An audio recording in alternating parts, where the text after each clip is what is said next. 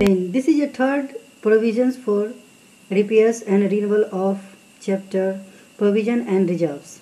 So today we will discuss the provisions for repairs and renewals.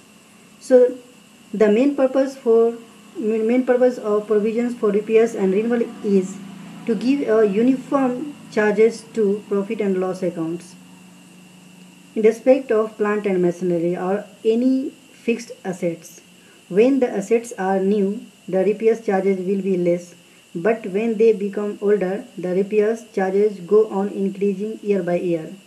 So the burden of the profit and loss accounts will be more in the later years than the earliest ones. Therefore, to equalize the burden on the profit and loss accounts in respect of the repairs and renewals, a certain fixed amount is debited to profit and loss accounts every year and credit to repairs and renewals provisions accounts.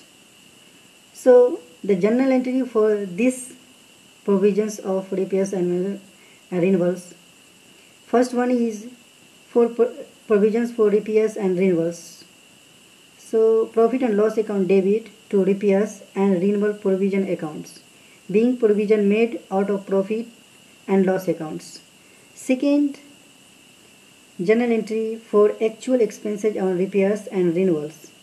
So journal entry will be repairs and renewal account debit to cash and bank cash or bank accounts being amount of repairs and renewals paid. Now third journal entry for transfer of actual amount of repairs and renewal paid transfers to provisions for repairs and renewal accounts.